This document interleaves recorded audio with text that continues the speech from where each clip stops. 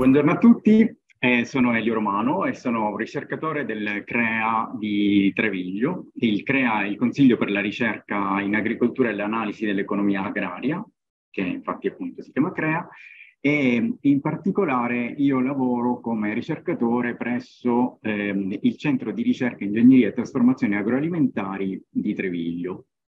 E, storicamente eh, il nostro centro di Treviglio si chiamava eh, ISMA, Istituto Sperimentale per la Meccanica Agraria. Successivamente si è trasformato, eh, grazie a un'unificazione che è avvenuta tra gli istituti ministeriali, in eh, CRA, quindi Consiglio per la ricerca in agricoltura, e ancora dopo in CREA, con l'unione con l'INEA, che è la parte economica della, della ricerca.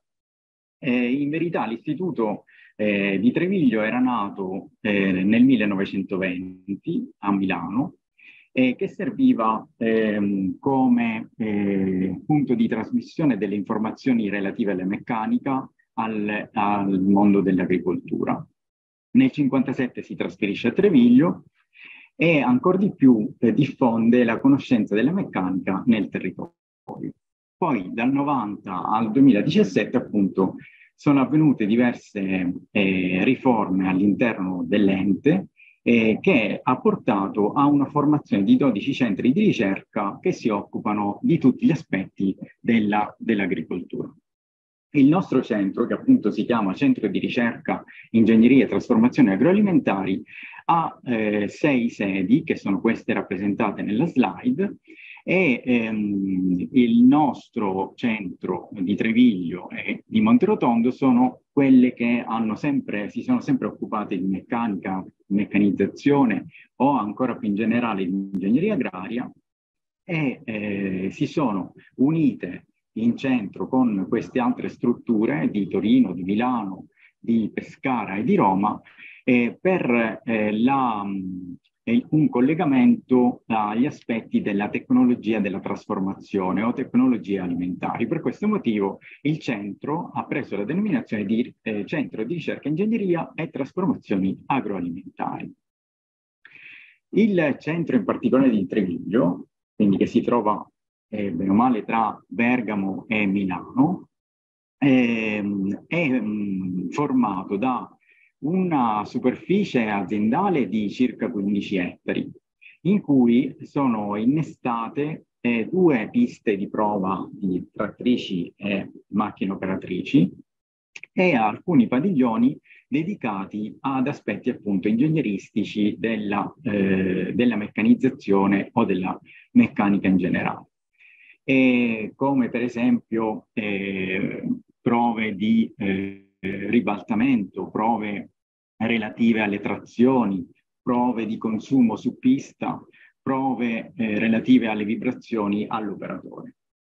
E ehm, nel tempo quindi si è delineato uno studio in particolare sull'attenzione dell'interfaccia tra la macchina e l'uomo, sia da un punto di vista di vibrazioni, sia di rumori e comunque in generale di ehm, comfort dell'operatore ma negli ultimi 10-15 anni, oltre alla relazione tra macchina e uomo, è stato eh, osservato la, la relazione tra macchina e ambiente e quindi ci siamo spostati sempre di più sull'attenzione nei confronti della sostenibilità delle operazioni agricole attraverso l'agricoltura di precisione. Quindi una quindicina d'anni fa eh, tutto il parco macchine è stato rinnovato, e nel tempo eh, nei, e nei vari anni eh, ogni parte è stata curata ed è stata trasformata. E, ehm, e allora eh, da lì è nata la necessità di curare gli aspetti del trasferimento delle mappe di prescrizione, che ora vedremo eh, cosa sono, e in particolare la lezione di oggi è dedicata a un'osservazione dei punti critici eh, che possono nascere nella preparazione delle mappe di prescrizione, perché l'agricoltura di precisione si basa sulla possibilità di distribuire un input che può essere un concime, un, un, um, un principio attivo, eh, o anche una dose di semina differente in funzione di eh, mappe appunto di prescrizione. Cos'è quindi una mappa di prescrizione e, e, e quali sono appunto eh, le problematiche che nascono nella preparazione delle mappe? La mappa di prescrizione sono rappresentazioni elaborate da, diversi, da dati di diversa natura ed origine. Questa è una delle definizioni che si trova su, su testi o su internet così, e, e nasconde già all'inizio di questa definizione il primo punto critico, il fatto che è chiaro che sono elaborazioni eh, grafiche, eh, ma eh, proprio per il fatto che nascono da dati di diversa natura ed origine, eh, creano eh, delle difficoltà in, eh, nel momento della sovrapposizione e della fusione, si dice. Questo perché? Perché eh, appunto diversa natura vuol dire che eh, provengono da eh, tipologie diverse di dati. Per esempio, chi conosce un po' i sistemi di elaborazione eh, di dati georeferenziati sa che eh, queste mappe, queste parti di mappe possono essere eh, gestite con dei vettori che sono dei confini con all'interno un riempimento ehm, con un unico valore, oppure eh, altri tipi di dati possono essere di tipo immagine e quindi eh, formati da tanti piccoli tasselli che sono i pixel che formano l'intera immagine. I due tipi di dati, appunto, che siano di tipo vettoriale o che siano di tipo immagine, eh, non interloquiscono molto facilmente, quindi l'elaborazione e il processamento di questi tipi di dati a volte non è eh, semplicissima. L'origine anch'essa è differente, perché eh, l'origine dei dati potrebbe provenire o da un campionamento a terra e quindi dati di tipo puntuale potrebbero essere dei punti e quindi dei vettori, oppure dei dati che provenienti da immagini dall'alto, come potrebbe essere un'immagine da drone o un'immagine satellitare.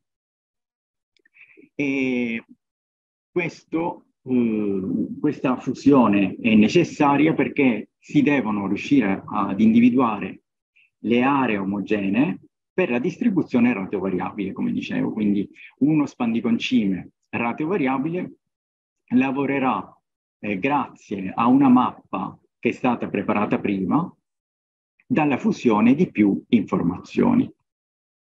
Questo eh, perché eh, si cerca di utilizzare l'agricoltura di precisione anche con uno scopo eh, di riduzione di riduzione dell'impatto ambientale e, e, di sostenibilità appunto ambientale. E, grazie alla sovrapposizione di queste informazioni si cerca quindi di ottenere, come dicevo, delle aree omogenee tra di loro eh, differenti, dove stabilire dosi differenti di input, che potrebbe essere per esempio appunto la concimazione. Va bene. Ehm, questa in alto a destra, per esempio, è una mappa di prescrizione che abbiamo preparato per uno dei campi che abbiamo presso l'Istituto di Treviglio e dove sono eh, ben individuabili tre aree omogenee dove distribuire tre tipologie di, eh, o tre dosi, per esempio, di input. Tutto questo eh, fa capo a quello che è la definizione più generale di agricoltura di precisione, che è quella di fare la cosa giusta, farla nel momento giusto e farla nel modo giusto, che è quello che ci si augura un po' per tutte le cose. Però in generale eh, e in particolare nell'agricoltura di precisione, cercare di fare la cosa giusta, quindi per esempio eh, intercettare il tipo di fertilizzante più corretto, farlo nel momento giusto, quindi tener conto anche di ehm, informazioni ambientali. E infine farla nel modo giusto, cioè significa magari non distribuire quella quantità di concime in maniera uniforme per tutto il campo, ma avere consapevolezza della variabilità che è presente sul campo e distribuire solo dove serve oppure in maggiore quantità dove eh, la cultura lo richiede. Vediamo quindi eh, rapidamente le fonti informative che possono costruire come dei pezzi di puzzle eh, la mappa di prescrizione. Chi partecipa? È chiaro che ognuna di queste fonti che, eh, di cui parlerò può partecipare in maniera autonoma, ognuna di esse già porta un carico importante di informazioni che può essere tradotto in mappe di eh, prescrizione. Però eh, vedremo anche come l'integrazione tra più fonti informative impreziosisce e rende più corrispondente al vero la mappa di prescrizione che prepariamo. Quindi partendo dal terreno, una delle prime informazioni che potremmo avere, non economicissima, però ehm, ha, un, ha, una lettura abbastanza stabile nel tempo, quindi eh, si può riutilizzare per più anni, è la mappatura geoelettrica, cioè informazioni della trasmissione del campo elettrico nel terreno che ehm, in qualche maniera eh, rappresenta la tipologia di tessitura presente eh, sulla superficie o a diverse profondità. Un altro tipo, salendo eh, sulla superficie, eh, sulla coltura, un altro tipo di lettura può essere quella da sensori, eh, che possono essere imbarcati sulla trattrice, sul tettuccio o nella, eh, nella parte anteriore e leggono delle bande spettrali, cioè ehm, come delle bande di colori che interpretano la variabilità cromatica sulla superficie della coltura. La stessa cosa a un livello più alto lo, la può eh, rendere il drone. Il drone in sé, se non ha attaccato con sé una eh, fotocamera multispettrale, sarebbe soltanto un giocattolo no? che vola, mentre invece i droni applicati in agricoltura hanno eh, montato di sotto una fotocamera multispettrale che è capace di leggere delle bande importanti dello spettro elettromagnetico, la cui composizione crea degli indici, eh, eh, come per esempio avrete sentito parlare dell'NDVI, degli indici che eh, eh, rappresentano la, in qualche modo il benessere della coltura. In maniera analoga, eh, questi stessi indici sono ottenibili anche da, ancora più in alto dal, dai satelliti. E, seppur più lontani, sono comunque più raggiungibili in quanto eh, non costosi, quindi eh, accessibili eh, con, con un download delle mappe e interpretazione delle mappe stesse. È chiaro che alla fine poi della cultura possiamo avere anche l'informazione relativa alla mappa delle rese, quindi al raccolto, se il raccolto è stato effettuato con dei mezzi geolocalizzati. Infine, ma non eh, di minore importanza, anche il contributo storico delle informazioni che ha il proprietario, comunque il, chi conduce il terreno, chi conduce la coltura, perché eh, queste informazioni sono eh, assodate, sono eh, sempre utilizzate comunque da, dall'agricoltore e ehm, è necessario però renderle operative per una macchina eh, che ha la possibilità di distribuire in maniera variabile. L'agricoltore da solo non potrebbe e scegliere di distribuire in maniera diversificata. Quindi anche per chi sa già e chi conosce già la variabilità del proprio terreno è necessario una, una mappa che traduca queste informazioni al, in maniera informatica e quindi in maniera operabile dalla, dalle macchine operatrici.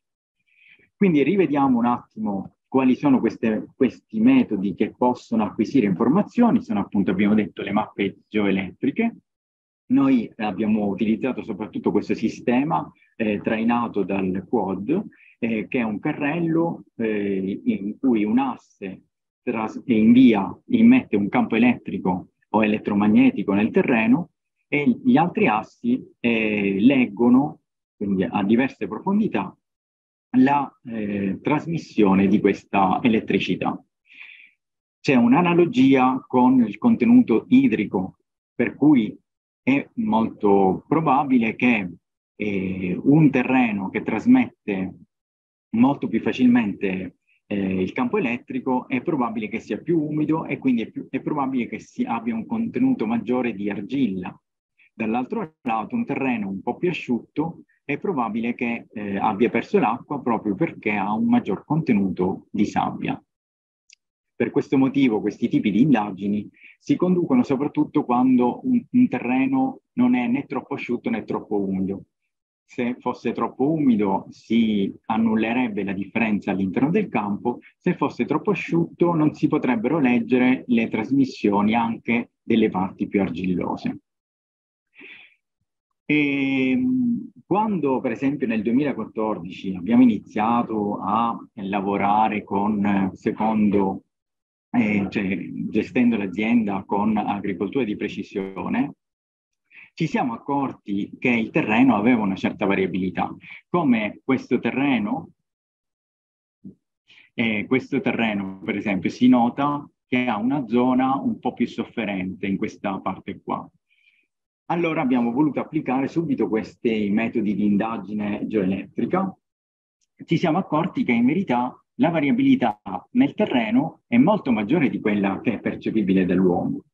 ed è vero che alcune parti, appunto queste e altre, che a occhio nudo si vedevano eh, più indietro, più lente nella crescita, avevano una base di verità, quindi una parte estremamente drenante che quindi perdeva la fertilizzazione data, perdeva l'acqua, soffriva nei momenti di maggiore siccità. Però comunque eh, era presente in tutto il campo una variabilità da gestire. Questa variabilità è stata poi sottoposta ad analisi, quindi mirata, osservando in particolare le parti che risultavano differenti tra di loro. E andando indietro nel tempo ci si è accorti che la variabilità è data anche dalla, da una storia, da una memoria che ha il terreno, a causa per esempio delle successioni eh, culturali che sono avvenute sul, sul campo. Questi, questo campo per esempio era eh, una, un mosaico di coltivazioni e addirittura in questa parte in cui sembra che ci sia un taglio, eh, era presente appunto negli anni 50 un fosso di drenaggio, quindi è rimasto, pur essendo ricoperto ormai da un terreno unico all'interno della pista di prova dei trattori, comunque un taglio dal precedente, eh, da, dal precedente fosso di, di drenaggio di, o di irrigo. E altre appunto fonti, come dicevo, andando verso l'alto, sono i sensori multispettrali applicati o alla trattrice oppure ai droni o ancora più lontano, come dicevo, anche dai satelliti. Il limite dei satelliti è eh, la risoluzione che attualmente eh, è per alcune bande dello spettro di 10 metri per 10 metri. Questo è un altro dei punti critici nell'elaborazione delle mappe di prescrizione, perché dovendo sovrapporre più strati informativi, il, eh, il, pixel limite è quello a minore risoluzione. Quindi se io avessi dei dati da drone, e in genere i dati da drone hanno una eh, risoluzione centimetrica, eh, se dovessi abbinare una mappa da drone con una mappa satellitare perderei tantissime informazioni, dovrei mediare molte informazioni eh, centimetriche riconducendole a quelle eh, da, da, satellite.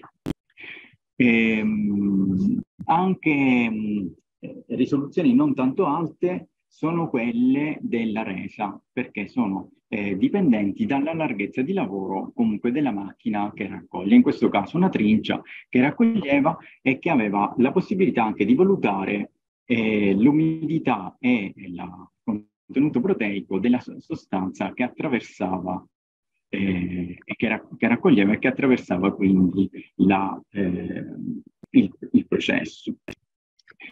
E nella preparazione delle mappe di prescrizione poi possono aggiungersi tutti i tipi di mappe che possiamo eh, pensare e che possono dare delle informazioni. Per esempio le mappe delle patologie se andiamo in campo e raccogliamo delle informazioni sulla presenza o assenza o la percentuale di, di, di patologia, eh, possiamo realizzare delle mappe patologiche oppure mappe fenologiche, eh, lì dove per esempio una coltura comincia prima, cioè una parte di coltura comincia prima di un'altra alcuni stadi fenologici.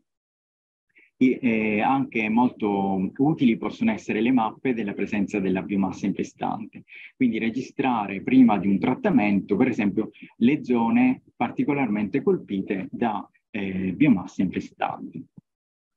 Un altro tipo di ehm, informazioni che abbiamo aggiunto eh, presso i campi di Treviglio è stato quello dei sensori posti eh, a terra che leggono la conducibilità elettrica anch'essi, quindi non eh, in, eh, un carrello che legge in continuo, ma dei punti eh, dislocati in maniera regolare a formare una griglia.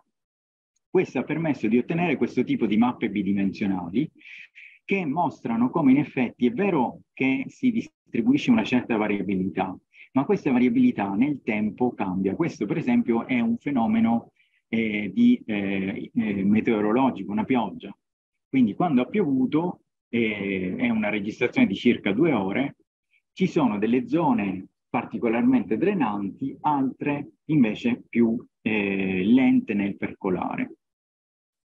E una cosa analoga l'abbiamo ottenuta durante una, eh, un'irrigazione con in idrovora. Si vede come il momento in cui arriva l'acqua aumenta la impermeabilità del terreno, perché l'impermeabilità è letta da due sensori posti a due diverse profondità, per cui all'inizio il primo sensore viene invaso totalmente dall'acqua e poi pian piano si ha la percolazione dell'acqua. Nel campo non tutta la superficie percola alla stessa maniera, proprio perché ci sono delle differenze in termini di tessitura e anche di scheletro. Quindi possiamo dire che la mappa di prescrizione è una sintesi delle informazioni di eh, cosa? Del suolo, per esempio sulla conducibilità, delle caratteristiche del terreno, della coltura, per quanto riguarda lo storico delle produzioni, eh, gli indici vari spettrali NDVI, ma ce ne sono veramente tantissimi, e dello stato quindi in generale della coltura, senza dimenticare l'andamento ambientale, quindi l'inserimento del suolo della coltura, ma anche dell'ambiente. Quindi l'insieme di tutte queste informazioni devono permettere di ottenere un'unica mappa da fornire poi alla, alla macchina per la distribuzione dato variabili. Quindi l'albero decisionale nella preparazione delle mappe di prescrizione può essere inteso in questo modo. Avendo una superficie agraria, io posso avere un'unica fonte informativa. Questo, per esempio, è quello che accade quando io eh, ho soltanto la fonte del raccolto dell'anno precedente, cioè se, se è accaduta una mappatura della produzione, posso in quel caso dalla mappatura stessa ottenere una mappa di prescrizione, secondo il concetto per cui lì dove ho prodotto di più probabilmente ho asportato di più, lì dove ho prodotto di meno ho asportato di meno e quindi compenso le carenze generate da questa esportazione della coltura precedente. Ma si può vedere anche in un altro modo. Potrei anche intercettare delle zone che normalmente ehm, sono più fertili perché hanno una tessitura, hanno una conformazione più, fa eh, più facilmente sfruttabili dalle colture. E altre zone invece che magari per, o per presenza di scheletro, per eh, mh, problemi eh, nella, nel, nel, negli strati sottostanti, possono invece creare un ambiente meno favorevole alla coltivazione. allora in quel caso potrei anche rinunciare a quelle parti so normalmente sofferenti e ehm, valorizzare la mia concimazione. È chiaro che poi queste mappe possono essere anche ridisegnate e rimodulate dall'utente, quindi anche eh, con la storia della, del campo si possono integrare delle informazioni. Dall'altro lato, eh, posso io avere la fortuna di avere una maggiore quantità di eh, informazioni, quindi una pluralità di informazioni. In questo caso viene richiesta appunto tutta questa fase di elaborazione e di filtraggio, interpolazione e clusterizzazione che ora vedremo, fino al trasferimento alla macchina operatrice. Tutto questo io suggerisco sempre di farlo in compagnia o comunque eh, con un consulto dell'agricoltore che magari conosce il terreno e che ci eh, aiuta a capire se stiamo percorrendo una buona strada o stiamo andando verso parti teoriche che invece magari sono un'aberrazione data dalla statistica e dalla interpretazione della fusione delle mappe. Questa per esempio è una, un caso di utilizzo diretto della mappa perché in questo caso da una mappa di geoelettrica si è ottenuta una interpretazione della possibile alta resa o bassa resa eh, del campo e questo poi è stato verificato appunto dalla vera e propria dalla raccolta. Va bene, questo possiamo andare avanti. Ecco. Allora, visto che, eh, come dicevo prima, un caso eh, più interessante è quello della fusione di più informazioni, non quando abbiamo una sola informazione, ma quando abbiamo più informazioni.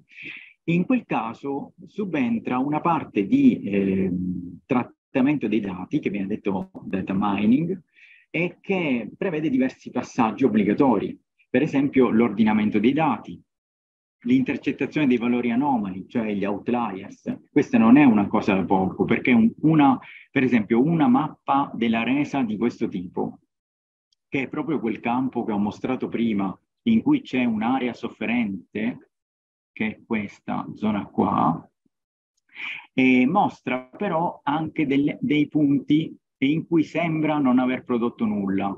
Queste, per esempio, sono aberrazioni date dal sistema di raccolta, perché la trincia all'inizio non ha una quantità raccolta sufficiente da eh, calcolarne il peso. Quindi apparentemente per quel punto geolocalizzato sembra non esserci una raccolta. Questi sono casi estremi di outliers, ma ce ne possono essere eh, a volte appunto nelle, nelle voltate o in diverse manovre, quindi bisogna comunque escluderli dalle elaborazioni fino ad ottenere poi eh, una semplificazione della mappa di questo tipo, cioè una eh, distinzione di mappe omogenee dove poter operare la distribuzione ratoriale. Un altro punto critico è quello della clusterizzazione. Se io ho tante informazioni, ho bisogno poi di creare delle zone appunto omogenee. Come faccio? Attraverso la, una tecnica statistica che prevede la preparazione di gruppi di oggetti tali che gli oggetti siano simili tra di loro.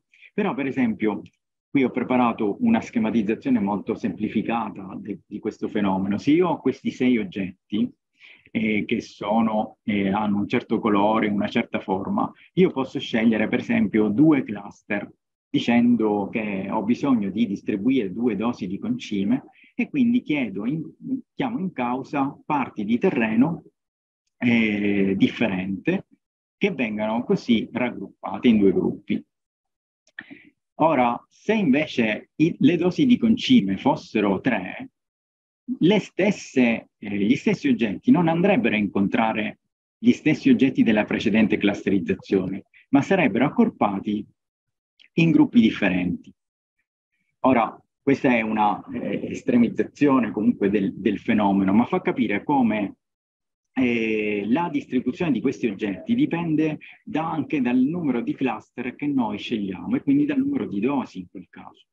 In realtà la situazione è molto più complicata, cioè ci sono tantissime chiaramente coordinate di punti e eh, tante informazioni.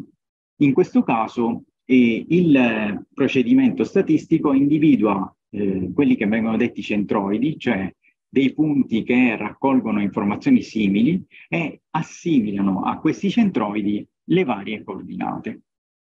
Allora, vediamo un po' nella pratica cosa accade. Nella pratica succede questo, per esempio un campo, uno dei nostri campi o uno dei vicini comunque, analizzati, eh, ha dato tutte queste varie informazioni. Quindi ognuna di queste mappe è una mappa, per esempio, dal drone oppure una mappa satellitare, una mappa della, della resa, eccetera. Tutte queste devono confluire in un'unica e può essere interpretata da eh, una clusterizzazione in tre gruppi, in due gruppi o in quattro gruppi. Immaginiamo di scegliere la clusterizzazione in tre gruppi, otterremmo una mappa di questo tipo. Ma non finisce qua, perché anche se ottengo una mappa ben definita, come dicevo prima, questa mappa deve essere adattata comunque alla larghezza di lavoro e a, ed anche alle linee guida. Quindi non è eh, una, una mappa come per esempio questa che ho realizzato, che ha delle forme curve, eh, eh, molto, molto ben definita, diventa quest'altro tipo di mappa, dove il, il, la larghezza di lavoro incide nella definizione dei contorni da distribuire. E non finisce ancora qua, perché la mappa di, pres di prescrizione applicata poi dalla macchina avrà un effetto di questo tipo, che è legata alla, eh, alle manovre del, dell'operatore e quindi ci saranno degli errori legati alle manovre, agli slittamenti e a, a piccole eventuali sovrapposizioni. Infine eh, possiamo applicare anche lo smoothing, che è un'altra tecnica che affina e cerca di avvicinarsi alla larghezza di lavoro già prima di consegnare la mappa alla, alla macchina. Queste sono le linee di lavorazione, cioè le linee guida che sono quelle linee che l'operatore sceglie per la conduzione dell'operazione nella guida assistita e automatica subentrano per, mm, nel, nel disegnarsi eh, parallelamente sul display. Questa, per esempio, appunto, è lo sviluppo di una mappa di prescrizione da, su quel campo che vi avevo mostrato all'inizio. E come poi, ecco, una, una mappa come questa, che è quella fornita da un'elaborazione eh, al PC si trasforma in questo tipo di mappa proprio perché deve seguire le linee guida e la larghezza di lavoro e poi si trasforma in questo tipo di, eh, di distribuzione. Abbiamo scelto questo campo perché particolarmente eh, articolato, offriva molte complicazioni in termini di manovre e quindi genera diversi errori. Vabbè, questo eh, fra l'altro si inserisce in un contesto di agricoltura 4.0 dove la trattrice non solo eh, acquisisce la mappa di prescrizione, ma può abbinare alle informazioni su quanto sta facendo, anche relative per esempio alla velocità di avanzamento, alla, al motore, al, al, ai consumi, ehm, e, e, e, ed è possibile quindi integrare alla mappa di prescrizione la mappa di attuazione della mappa di prescrizione anche informazioni sull'efficienza di quanto è stato applicato.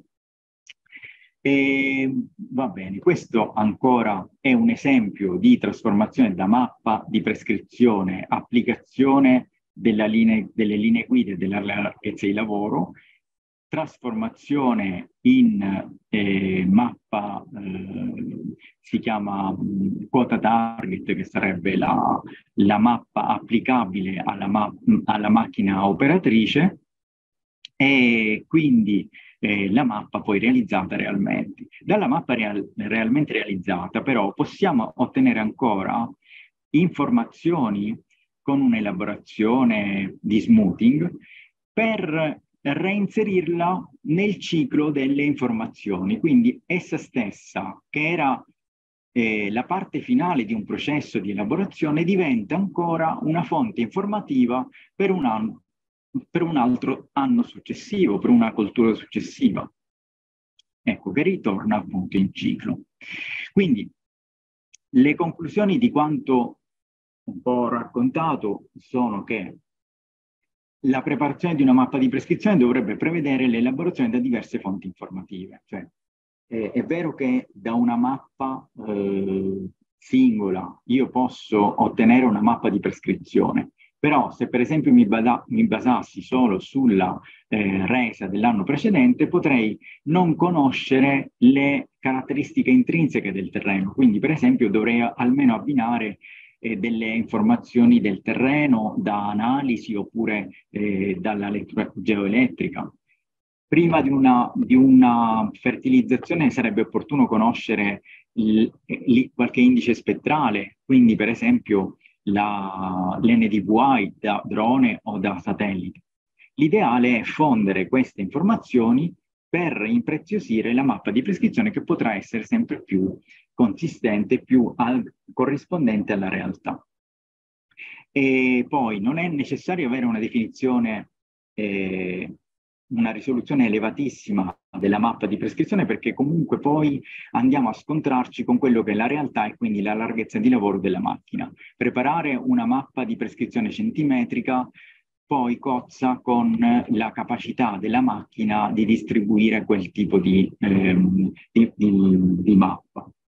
E eh, operare con più ma mappe costringe alla riduzione, alla risoluzione più bassa di, eh, di, tutte. Per esempio, appunto, quelle satellitari in genere hanno un impatto nell'abbassare la risoluzione. In ogni caso, la larghezza di 10 metri per 10 metri non è comunque una, una, risoluzione bassissima perché a volte può corrispondere anche a una larghezza eh, di lavoro.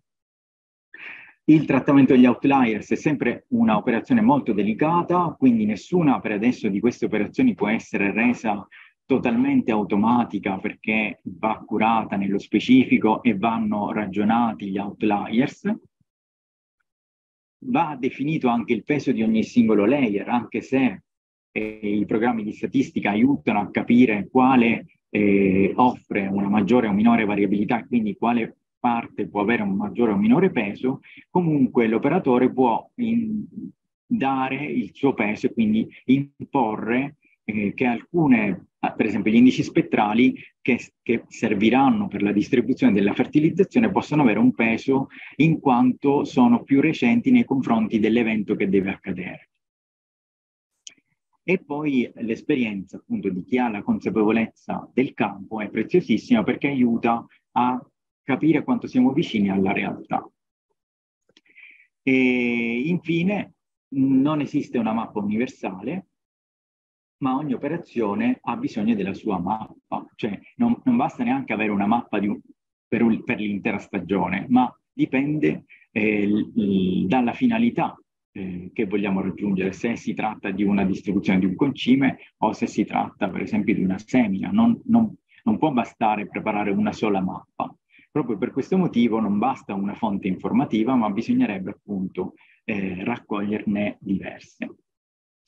Ora eh, ho comunque preparato delle slide in cui ho mostrato anche delle esercitazioni che abbiamo preparato quando eh, a Treviglio a, abbiamo delle visite di studenti perché eh, è interessante come può diventare una, eh, un evento anche didattico la preparazione di una mappa e lo, la prepariamo appunto in diretta quando eh, all'interno per esempio del piazzale prepariamo mappe molto molto semplificate come questi eh, specie di trapezi, triangoli e disegnandoli eh, si capisce subito come applicandoli alla larghezza di lavoro e linea, alle linee guida si trasformano queste forme eh, semplificate in forme con dei pixel, proprio perché devono necessariamente essere svolte poi in questo modo dalla macchina.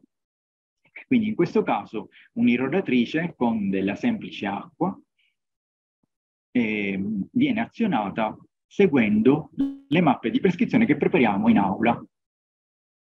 E poi, appunto, la macchina irroratrice, seguendo le linee guida che sono parallele, cioè le linee indicate dal display che sono parallele alla linea guida, operano in questo modo. E questa è la mappa di realizzazione della distribuzione a due dosi diverse di liquido, quindi qui a minore densità e qui a maggiore densità, e si può vedere bene come eh, appunto nella, nel percorrere la linea guida l'irroratrice abbia acceso prima le sezioni sulla destra e poi solo successivamente abbia azionato le, le sezioni sulla sinistra. Questo anche perché un ultimo punto che può fare la differenza nell'applicazione della mappa di prescrizione può essere la definizione delle, ehm, delle sovrapposizioni, delle percentuali di sovrapposizione.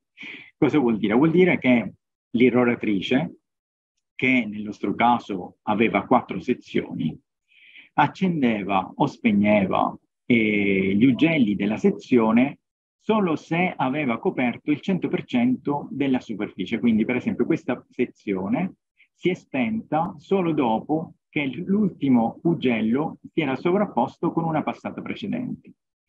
Se invece avessimo impostato questo tipo di eh, settaggio al 70%, avremmo avuto questo effetto, cioè questo, eh, questa sezione della barra rotatrice si spegne solo quando il 70% della barra si è sovrapposta alla passata precedente.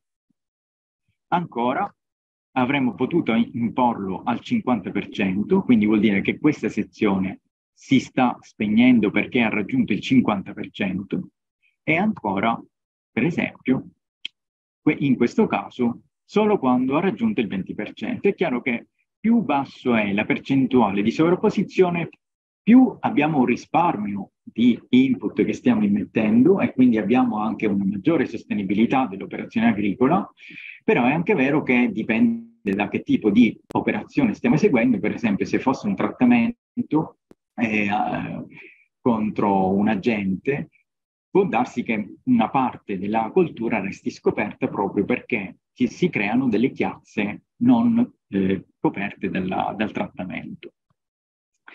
Bene, e, e lo stesso tipo di esercitazione la, eh, a volte la, la, sviluppiamo con lo spandiconcime. In questo caso poniamo nel, nel, piazzale dei recipienti che permettono di leggere la eh, differente distribuzione. Come si può vedere, le due aree sono state coperte in maniera perfetta dal sistema di distribuzione rato variabile con piccole, vabbè, con dei piccoli errori, soprattutto nella fase terminale, dove può anche darsi che sia il sistema di lettura che abbia prodotto qualche dato errato.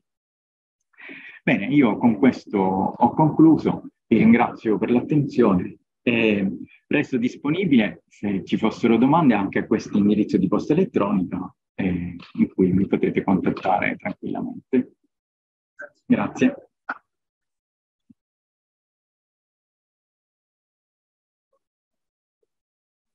Da casa, se avete domande, potete scrivere in chat. Sì.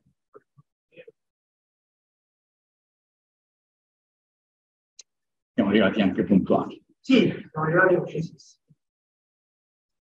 molto interessante. Grazie. Poi la mia tesi di laurea ho iniziato diciamo, a realizzare il sistema di mappatura per le macchine per raccogliere i notori. Ah. Con l'idea poi di andare a creare, anche quando sarà messo a punto delle mappe di descrizione. Ho ecco. capito adesso che il sistema di mappatura da solo non è sufficiente. Può non essere sufficiente, poi già è un bel aiuto, già è un bel aiuto comunque. Sì, sì. Sì, sì, tutti i tipi di mappe possono essere valorizzate comunque. Da sole, è chiaro, hanno il limite della singola informazione, quindi se si uniscono con altre, allora cominciano a dare un quadro più completo. È come se eh, dell'ambiente prendessimo solo la temperatura e non l'umidità, no?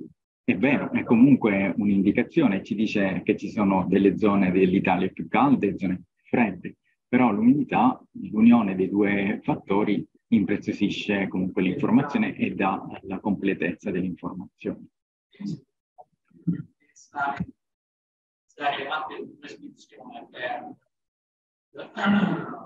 Per, per una continuazione delle variabili, quali sono i dati più, più importanti, diciamo, più convenienti, quali sono i dati migliori da poter è chiaro che allora la conciliazione sicuramente si può basare sullo stato della coltura, perché è come se eh, avessimo un bambino che non ci sa raccontare, ma si esprime un po' per gesti o per, eh, per suoni. Allora in quel caso prestiamo attenzione a cosa vuole e lo accontentiamo. Allora, il, la lettura della, degli indici spettrali, quindi il drone, il satellite, la multispettrale ci dà un, una percezione più chiara di quello che è la variabilità oppure no? potrebbe già essere sufficiente, però non ci aiuta a capire il motivo per cui quella parte di terreno sta soffrendo, quella parte di cultura sta soffrendo. Quindi sarebbe meglio avere anche informazioni relative al terreno, per esempio la lettura geoelettrica. In questo modo si può capire perché quella parte, perché se noi accontentassimo... Si misura... E gli strumenti sono quelli che ho mostrato, che sono quelli della, eh, dell'emissione del campo elettrico, del campo elettromagnetico nel terreno, con, quelle, con quei carrelli, eh, si chiamano anche met- met- metodi ARP, eh, di trasmissione del campo elettrico elettromagnetico, letti da altre parti della macchina. Si chiama mappatura geoelettrica. E questi sono servizi prestati, in genere i macchinari costano parecchio si, si noleggiano, si... E questo può costare, ecco, perché mh, ancora io l'ho visto utilizzare, se, cioè anche noi stessi l'abbiamo usato soltanto a scopo sperimentale e abbiamo speso anche sui, eh, sui 5.000 per l'azienda, l'azienda di 10 ettari, 10-15 ettari.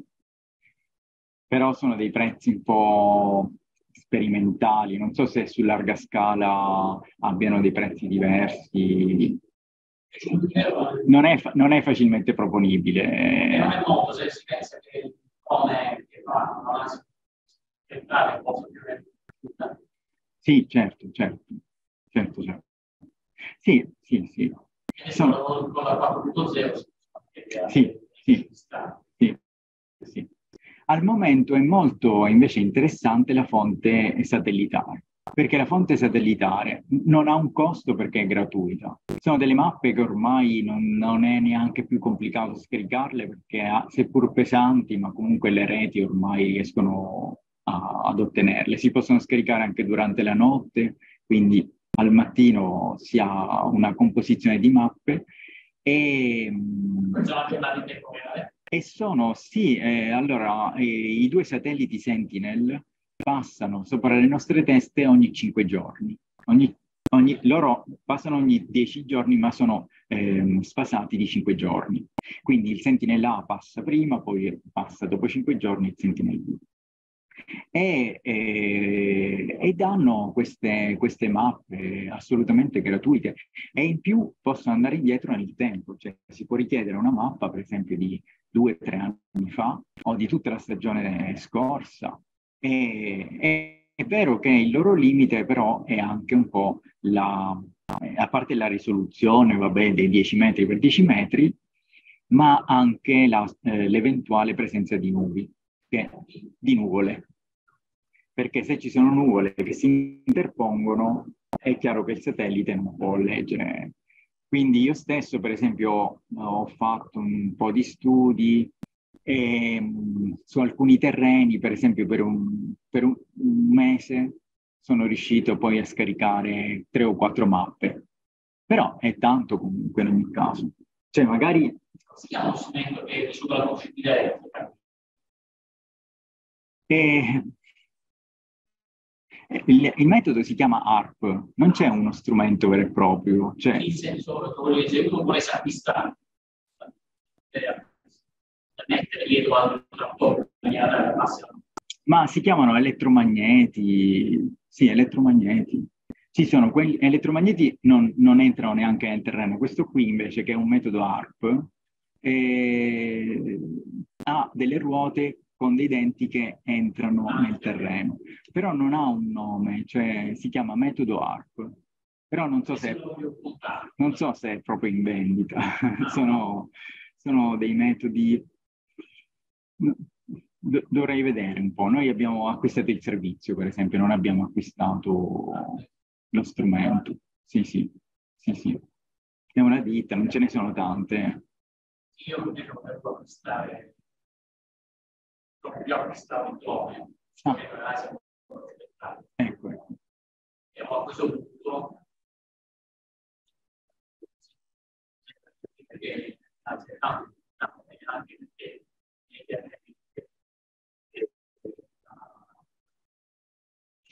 viene intuitiva e si concepisce che la differenza di unità può avere il suo peso. Eh, ecco, per esempio, nel campo che ho mostrato, quella parte sofferente è una parte eh, che è sofferente proprio per lo scheletro invece, non tanto per la tessitura, ma per lo scheletro eccessivo che c'è. Allora, in una situazione del genere, se io vede, osservassi soltanto gli indici spettrali, rischierei di eh, voler accontentare quella parte perché la trovo sempre un po' più ingiallita, no? Allora, ecco, per rispondere anche alla domanda di poco fa, se io mi basassi solo sulla lettura multispettrale, rischierei di andare a inquinare di più, perché rischierei di intestardirmi a dare molto più concime in quella fessura, in quella zona lì, che probabilmente era stata causata da un fosso di irrigazione e quindi è pieno di scheletro, e immetterei sempre input, input e input che andrebbero direttamente nella falda. Quindi se io usassi come fonte soltanto la multispettrale, rischierei di avere una mappa perfetta, ma che andrebbe al contrario rispetto alla sostenibilità, perché sposterei anzi tutti gli input su quel punto. Quello è proprio uno di quei casi invece in cui se io ho la conoscenza di ciò che è nel terreno, eh, posso essere frenato dall'andare in, quel, in, in quell'errore, perché direi allora no, so l'origine del perché quella zona è sofferente ed è causata dal fatto che c'è una elevata eh, o sabbiosità o, cioè, o un'elevata quantitativa di sabbia o un'elevata scheletro, e allora mi fermo prima e dico no, quella parte piuttosto soffra a prescindere, perché non posso, non potrò mai accompagnarla con una sufficiente eh, fertilizzazione. E mi sposterò eh, sposterò l'attenzione e gli input sulle altre parti adiacenti, magari quella parte resterà a questo punto ancora più indietro. Per questo a quel punto si può passare invece a un programma di eh, bonifica del terreno, si, si, migliora il terreno, si, tolgono, si toglie l'eccesso di scheletro. Questo è per rispondere un po' a quello che dicevamo, no? È vero, il multispettrale dà un'immagine immediata, è come se traducesse i, i lamenti di un bambino appunto in una richiesta di cibo espressa. Però eh, perché comunque questo bambino continua ad avere sempre fame? Magari c'è un problema di base, va curato in qualcosa. Quindi anche lì nella cultura, come mai questa parte mi chiede sempre di essere, eh, di dargli input? mi devo fermare perché altrimenti se accontento questa situazione rischio invece di andare da tutt'altra parte. Questo. Grazie. Va bene, grazie a tutti, arrivederci.